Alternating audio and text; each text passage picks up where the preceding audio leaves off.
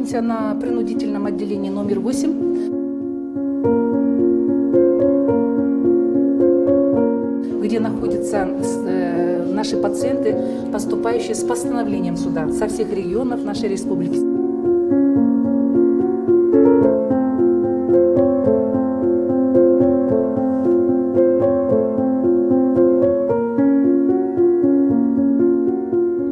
Каково типичное представление о психбольнице у рядового кыргызстанца? Обычно это темные коридоры, решетки, колючая проволока. Пациенты, связанные с суровыми санитарами.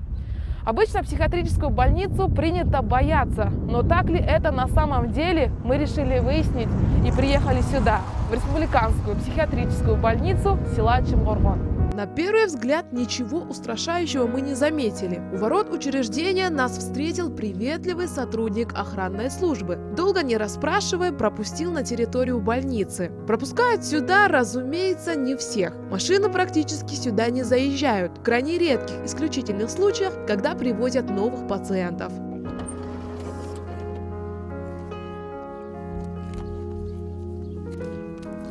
Первым делом пациента встречают в отделении приемный покой. Здесь дежурные врачи измеряют температуру, артериальное давление, обрабатывают руки. Здесь все почти как в приемной обычной больнице. Только вот выясняя личность пациента, доктор спрашивает не только на что жалуется пациент, но и не слышит ли он чужие голоса в ушах. Если да, то что говорят эти голоса, может они дают приказы шум болып жатады иә үндер эмне деп атат үндер үндер эмне деп атат сизге После проведения первичных процедур родные поступившего человека или сопровождающие лица должны заполнить бланк на согласие о госпитализации больного. С этого момента он становится пациентом и его затем отводят в отделение. Келесіз Поступление сіздерге. Очередь жердеке келесіздер. После передачи документов поступившего в дежурном отделении его здесь обследуют. Проводят проверку состояния тела, нет ли никаких следов от побоев или следствий рукоприкладства. Состояние пациента стабильное, значит можно и определить ему койку. пастелдеріңізді мына апақай таза осы жаққа жаттыңыз сені палатаңызбен кроватыңыз үш болады В эту больницу пациентов привозят из разных регионов страны. Бывает поступают с направлением, а бывает и без. Добровольная госпитализация по направлению проходит, как правило, тихо, без каких-либо эксцессов. Но бывают и случаи, когда человек поступает в психдиспансер в принудительном порядке, соответственно, без направления. Такие пациенты, говорят врачи, могут подвергать опасности не только себя, но и окружающих. В таких случаях работникам психиатрического учреждения приходится повозиться. в таком случае мы комиссионно здесь смотрим сразу в, теч- в составе трех врачей и сразу мы актируем, направляем в Кеминский районный суд. И в течение 72 часов у нас этот, мы должны направить акт. Потом суд сюда приезжает, у нас состоится суд, они нам дают постановление на лечение в течение 6 месяцев.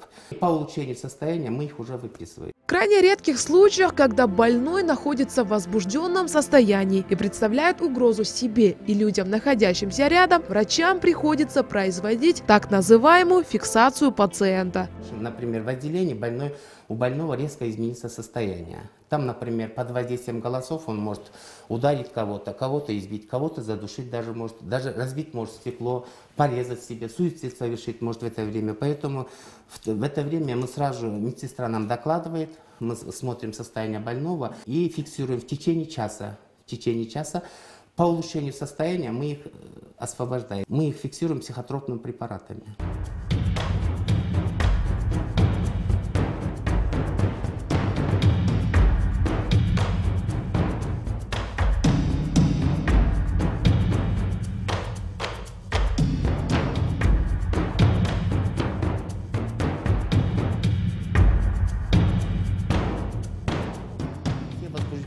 Все поступившие больные с возбуждением, которые поступают у нас, они по режиму проходят. Первый режим – это наблюдательная палата. Они там получают лечение. По улучшению состояния мы их в другую палату переведем на режим номер два.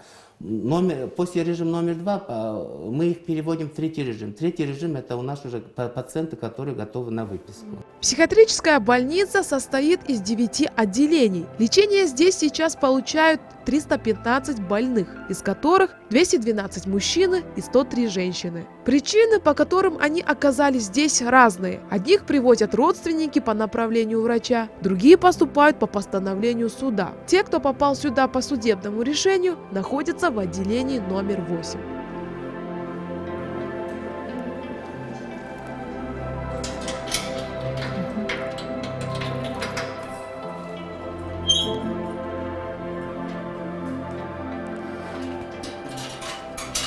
Мы находимся на принудительном отделении номер 8, где находятся э, наши пациенты, поступающие с постановлением суда со всех регионов нашей республики Северного.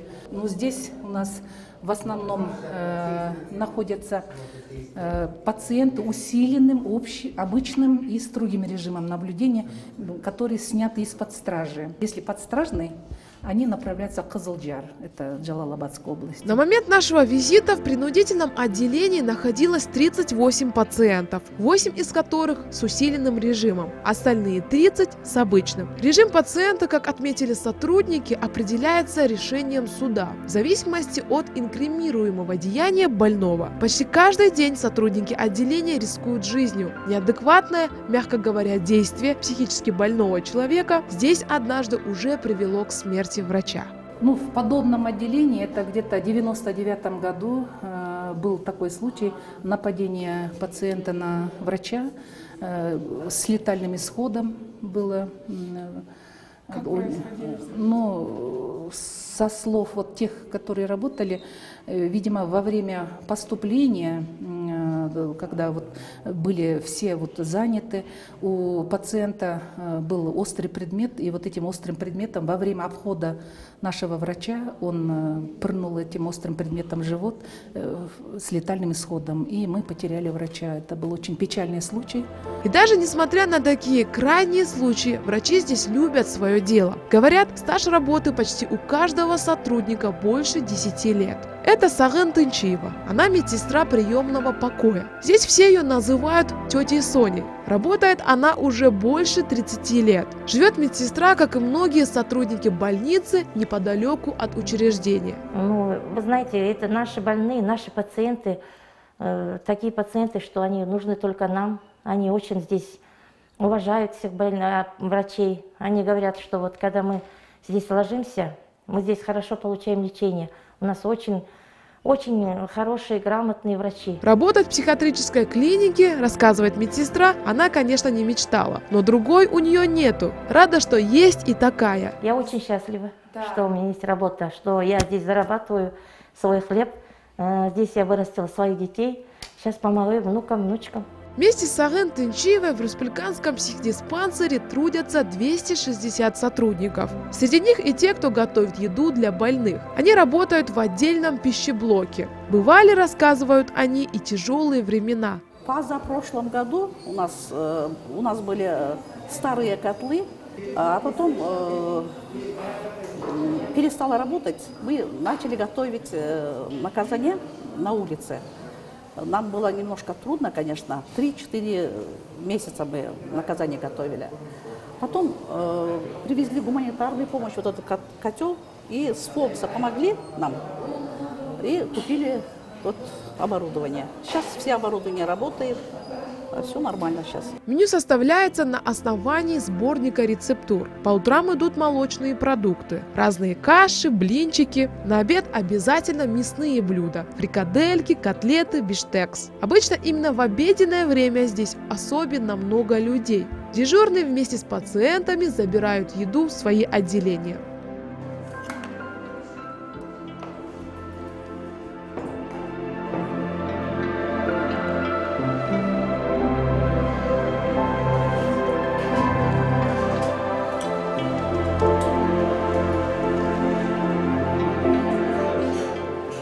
Спустя 20 минут после приема пищи принятие необходимых медикаментов обязательно для каждого пациента. Таблетки распределяются за день, вечером, по группам, по дозам, каждому больному индивидуально. У нас э, все лекарства хранятся в шкафу отдельно и стоят по группам Соматика, корректор, нейролептик деп бірінші противосудорожный деп бөлінеді Конечно же, не обходится и без случаев, когда больной просто отказывается пить лекарства. Для таких случаев у медсестер здесь свои хитрости. Уговариваем каждого больного, не хотят пить. Они считают себя здоровым, поэтому мы стараемся растолочь и э, заставить, заставлять пить. Оказаться в психушке, говоря простым языком, вряд ли кто захочет. Не все пациенты осознают и воспринимают необходимость лечения возникшего у них психиатрического расстройства. Другие смирились. Меня, в общем, 16 лет изнасиловали, и после этого я заболела. Знали шизофрению. Вот с 16 лет я ничего не помнила. И вот психика нарушилась, сильно была избита. Потом черный рак отвезли. Потом ну, сразу в психиатрию в 10 отделение поступила. Бывало просто, я ходила в депрессию, сама в себя это замыкалась. А после маминой смерти я ничего не хотела. Здесь что? Ну, я свыклась уже с этой жизнью, как бы смирилась. Ну, что могу сказать?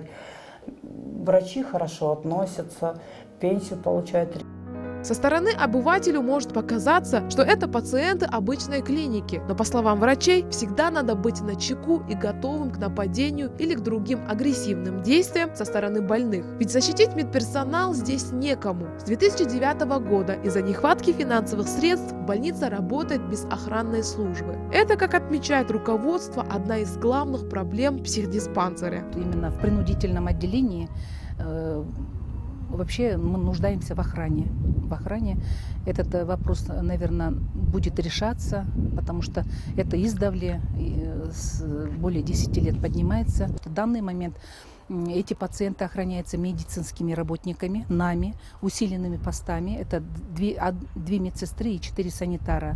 Но это тоже э, работает на э, свой риск. А бывает и такое, как говорит главврач психиатрической клиники, что сами родственники оставляют у ворот пациента, даже если у поступившего нет показаний для госпитализации. Даже наши дежурные врачи, когда говорят, что нуждается только в уходе, над ним просто наблюдайте, здесь нет острого психоза. Но однако бывают такие случаи, что они оставляют на территории нашей больницы этих пациентов, и мы вынуждены их принимать. Под финансирование у нас э, м, осуществляется через ФОМС, это фонд обязательного медицинского страхования.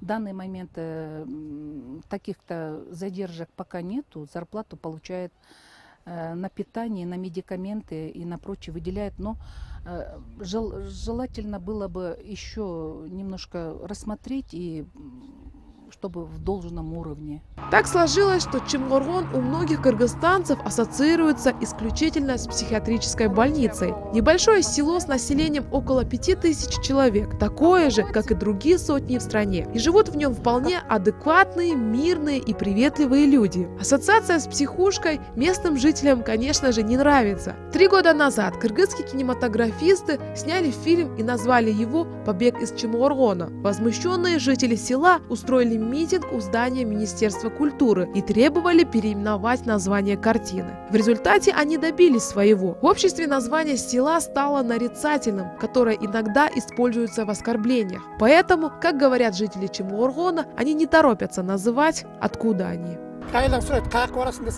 В основном, когда спрашивают, откуда ты или куда едешь, никто не говорит, что с Чемкургона. Все говорят названия соседних поселков – Кемин, Джаналыш, Бообек. Стесняются говорить правду. Все думают, что в селе все такие ненормальные.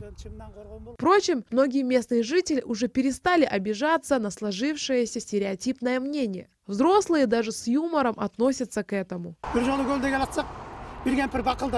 Как-то со мной приключилась смешная история. Я ехал из Сасакуля. Одна из пассажирок спросила у меня, куда я еду, на что я ответил в Чемкургон. После этого я заметил, что женщина сразу перестала со мной разговаривать, отсела подальше от меня, а позже вовсе пересела вперед. Я подсел к ней. В итоге она даже не доехав до Кимина, поторопилась к выходу. Потом водитель начал спрашивать у меня, что я сделал. На что я ответил, что всего лишь сказал, что я из Чемкургона. На вопрос, не боятся ли они находиться в местности, где неподалеку живут психически нездоровые люди, они говорят, что уже привыкли. Более того, когда пациенты сбегают с больницы, они практически сразу узнают об этом и помогают врачам найти беглеца. Они в основном прячутся на поле. Мы там их сразу находим и отводим в больницу. Или бывает ловим прямо здесь, у дороги, когда они пытаются поймать машину. Я подъезжаю, говорю, давай довезу, куда тебе надо. Сажаю в машину и доставляю его в отделение. Бывает даже, что нам звонят с больницы и спрашивают, не встречали ли мы незнакомых людей. Совершить побег из психиатрической больницы легче простого, так как территория ограждена очень низким забором, да и то только местами. Где-то ограждением служат брошенные в кучу ветви деревьев. Сотрудники больницы ежегодно белят стены, красят, но здание нуждается в капитальном ремонте и строительстве надежного забора. Необходима и реконструкция пищеблока и банно-прачечного отдела. Но несмотря на эти сложности, маленькую зарплату медперсонал больницы на настроен на работу оптимистично. Кто, если не мы? Скромно говорят они.